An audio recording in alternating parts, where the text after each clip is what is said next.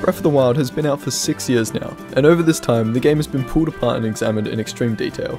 From this many many glitches have been discovered, and in this video I'm going to go through a massive 50 glitches, with some very well known ones and some more unique glitches you most likely have never seen. The list isn't in any order, and I won't be going into full detail with each of these glitches. Let me know down below what your favourite glitch is, and subscribe if you enjoy the video. First up is the bullet time bounce, or more commonly known as BTB. This glitch is one of the earlier movement glitches, which was a massive part of moving around the map quickly, and was a huge part of speedruns. This glitch consists of landing on an enemy well in bullet time to launch Link across the map at super fast speeds. Since the discovery of BLSS, this glitch hasn't seen much use, but may make its return in Tears of the Kingdom. Bow Lift Smuggle Slide, or BLSS, is one of the main current movement glitches in Breath of the Wild. This glitch involves the combination of bow smuggling and weird collision with the object Link is holding, which is normally a bomb, this causes Link to float through the air at super fast speeds, and due to this is used several times across speedruns, or if you just want to travel around Hyrule super fast. Wind bombing is one of the most well-known glitches in this game, as it's known well both across casual players and speedrunners. It makes moving around the map both horizontally and vertical so much easier and quicker. All that is happening with this glitch is that you use one bomb to launch the other bomb into Link, which will send him flying. Due to the amount of control with direction and magnitude you can get with this glitch, it makes it easily one of the best glitches in this game. The stasis launch is a very simple glitch, as it's just Link getting launched by a stasis object. This glitch can be done on many different objects, but isn't useful very often, excluding certain necessary spots in the any percent speedrun. It's outclassed by almost all the other movement glitches, but it's still quite funny to watch. The basic shield clip involves first getting skew by shield surfing on specific geometries around the map. The shield skew will look something like this whenever you try and shield surf. Using this skew, Link can now clip into certain shrines in other hard to get places. This glitch is very useful in speedruns, as it allows you to get into shrines without needing to activate the first tower, which shaves off a lot of time. Similar to the basic shield clip, this clip is much harder to perform as it requires very specific timing for the clip to actually work. This glitch allows Link to clip into more flat surfaces, such as a door or pillar, and overall is quite similar to normal shield clipping, as it both requires skew and uses a shield. The fall damage cancel is only really relevant before you get the paraglider, as it becomes pretty redundant afterwards. This glitch is quite simple, only requiring you to have a weapon and shield, as to perform it you just throw your weapon and switch shield right before you hit the ground, and Link won't take any fall damage. This glitch is quite an advanced one that I won't go into full detail here, but it pretty much just changes any item in your inventory to a different item in your inventory. It does this by abusing a thing called menu overloading, and also messing with given values in Link's inventory. This glitch is quite a useful one as it allows you to get rare items super easily. Moon jumping is a very funny looking glitch that allows Link to jump in the air infinitely, as well as cause some other weird physics based things to occur. To set this glitch up, you break the horseback archery range by landing on a different horse to the one you started with, and then the game will just completely break, and from now on you will have the moon jump effect. You can use this glitch to skip certain shrines or just get a different view of Hyrule. This glitch isn't really a useful one but is quite hilarious. The glitch uses either a high Hinox or Stalnox to completely break the game's physics engine, and causes objects to start floating and spinning around.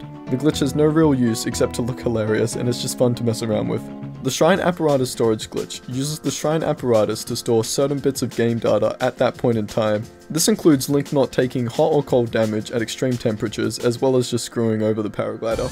This glitch can also be used for other glitches, such as using the Shrine Apparatus storage glitch and a little bit of time, you can get max hearts from the statue right next to Hateno Village here.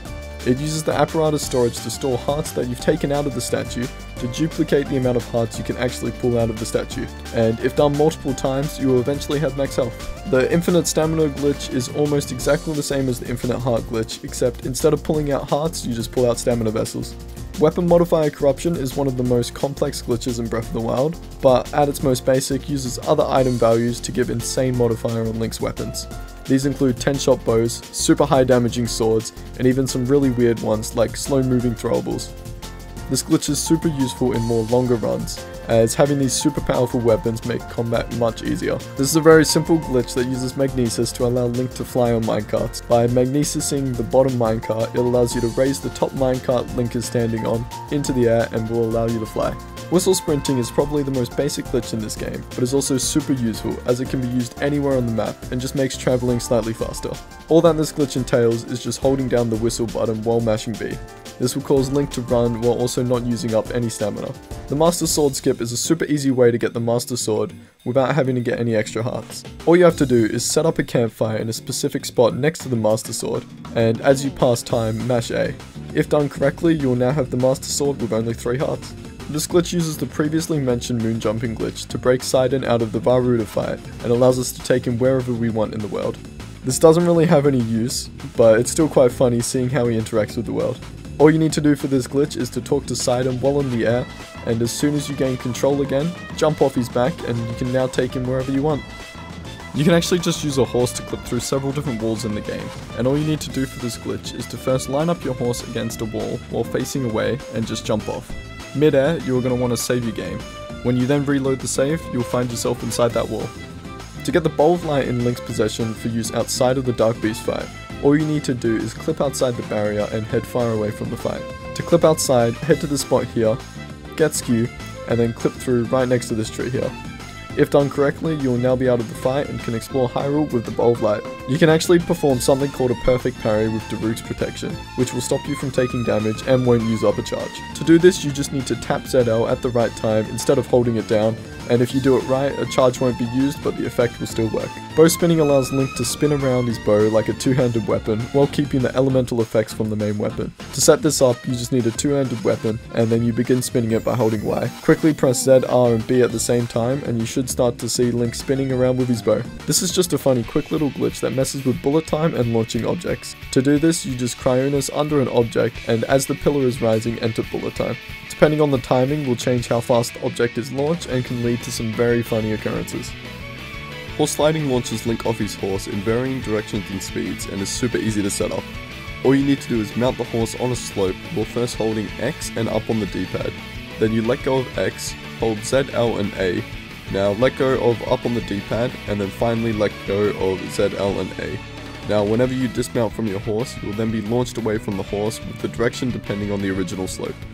We can smuggle weapons by just using a bomb, and from this we can see a bunch of dumb animations and even cheese torch puzzles by smuggling a torch, as it won't be affected by anything such as water. This glitch also makes Link look quite strange, as he will use one hand for two-handed weapons or other funny looking weapons. This simple glitch just makes the stamina recover faster than usual, and all you need to do is hold down ZL, ZR and A, then press X, and you'll see Link do this funny little thing on the horse.